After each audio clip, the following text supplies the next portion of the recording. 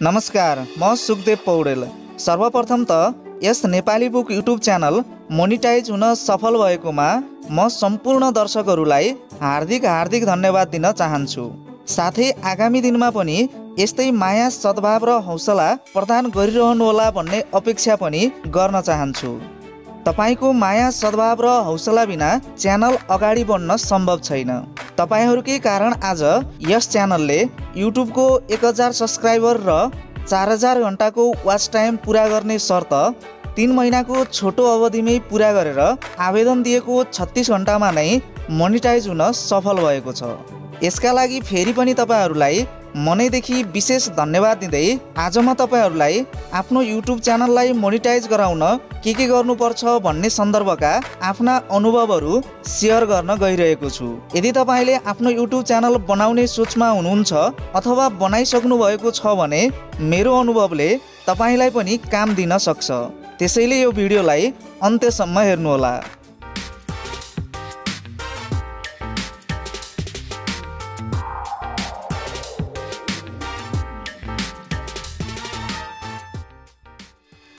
YouTube channel खोल्न एकदमै सजिलो रहेको छ। यदि तपाईँको जिमेल आइडी छ भने तपाईँलाई च्यानल बनाउन कुनै समस्या हुँदैन। च्यानल बनाइसकेपछि भने तपाईँले विभिन्न दस कुराहरूमा ध्यान पुर्याउनु पर्ने हुन्छ।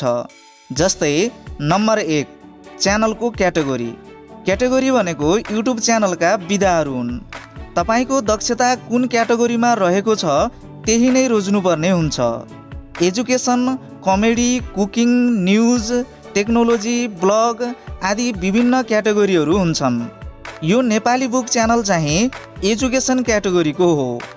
नम्बर दुई नाम। तपाईँले जुन क्याटेगोरी रोज्नुहुन्छ त्यही अनुसारको च्यानलको नाम दिनु उपयुक्त हुन्छ। च्यानलको नाम कुनै अन्य च्यानलसँग मेल नखाने खालको एकदमै मौलिक नाम दिनुहोला। नम्बर तिन लोगो ब्यानर र इन्ट्रो। च्यानलको क्याटेगोरी र नाम छनौट गरिसकेपछि अब तपाईँले च्यानलको लोगो च्यानलको ब्यानर र हरेक भिडियोको सुरुमा बजाउने च्यानल परिचयात्मक इन्ट्रो बनाउनु पर्ने हुन्छ।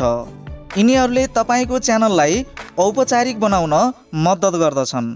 लोगो ब्यानर र इन्ट्रो बनाउनका लागि विभिन्न एपहरूको सहारा लिन सक्नुहुन्छ। नम्बर चार च्यानलको थिम। तपाईँले जुन क्याटेगोरी रोज्नुहुन्छ त्यही क्याटेगोरीमा रहेर भिडियोहरू निर्माण गर्नुपर्ने हुन्छ। विभिन्न विधाका भिडियोहरू राखेर च्यानललाई खिचडी बनाउनु भयो भने तपाईँको च्यानल मोनिटाइज हुँदैन। र तपाईँले एकपटक प्रयोग गरिसकेको शीर्षकको भिडियो फेरि अर्को पटक प्रयोग गर्नु पनि हुँदैन। नम्बर पाँच कपिराइट कन्टेन्ट हुनु हुँदैन। तपाईँले अरूका भिडियोहरू डाउनलोड गरेर आफ्नो च्यानलमा अपलोड गर्नु हुँदैन। भिडियो मात्रै नभएर अडियो फोटो आदि कुनै पनि सामग्री अरूको प्रयोग गर्न पाउनुहुन्न। यसबाट तपाईँलाई कपिराइट स्ट्राइक लाग्न सक्छ। उस्तै परे तपाईँको च्यानल यसै कारण डिलिट हुन पनि सक्छ। नम्बर छ भिडियो निर्माण। भिडियो बनाउनका लागि तपाईँले भिडियो एडिटिङ गर्न जान्नुपर्ने हुन्छ। भिडियोमा तपाईँको आवाज एकदमै स्पष्ट हुनुपर्दछ। र तपाईँको भिडियो सम्प्रेष्य हुनुपर्दछ। दर्शकले तपाईँले दिन खोजेको कुरा बुझेनन् भने तपाईँको च्यानलले सफलता पाउँदैन। नम्बर सात मौलिक कन्टेन्ट। तपाईँले एकदमै फरक खालको कन्टेन्ट दर्शकहरूलाई दिनुपर्ने हुन्छ र तपाईँको प्रत्येक भिडियोको कन्टेन्ट सशक्त हुनुपर्दछ। यसले गर्दा तपाईँका सब्सक्राइबरहरू पनि बढ्दछन् र दर्शकहरू पनि तपाईँको च्यानलमा पटक पटक फर्केर आइरहन्छन्। नम्बर आठ भिडियोको थम्नेल शीर्षक डिस्क्रिप्सन र ट्याग तपाईँको भिडियो जुन विषयमा आधारित छ त्यही अनुसारको थम्नेल र शीर्षक दिनुपर्ने हुन्छ र शीर्षक अनुसारको डिस्क्रिप्सन लेख्नुपर्ने हुन्छ र त्यही अनुसारका ट्यागहरू मात्रै लगाउनु पर्ने हुन्छ। गलत खालका शीर्षक थम्नेल डिस्क्रिप्सन र ट्याग प्रयोग गर्नुभयो भने र त्यसबाट दर्शक झुक्काउन खोज्नुभयो भने तपाईँ युट्युबको फन्दामा पर्नुहुन्छ। त्यसैले यी कुरामा विशेष चनाखो हुनुहोला। नम्बर नौ मोनिटाइजको शर्त। युट्युबले मोनिटाइजको लागि तिन सय पैँसठी दिनभित्र एक हजार सब्सक्राइबर र चार हजार घन्टाको वाच टाइम पुरा गर्नुपर्ने शर्त राखेको छ र यो शर्त तपाईँले पुरा गर्नुपर्ने हुन्छ। यदि तपाईँका भिडियोहरू सम्प्रेष्य खालका भएनन् अथवा दर्शकले मन पराएनन् अथवा तपाईँले राम्रो कन्टेन्ट दिन सक्नु भएन भने तपाईँलाई यो शर्त पुरा गर्न निकै नै गाह्रो हुन्छ। तर तपाईँको कुनै एउटा भिडियो मात्रै पनि भाइरल भयो भने तपाईँले यो शर्त एक दुई महिनाकै अवधिमा पुरा गर्न सक्नुहुन्छ।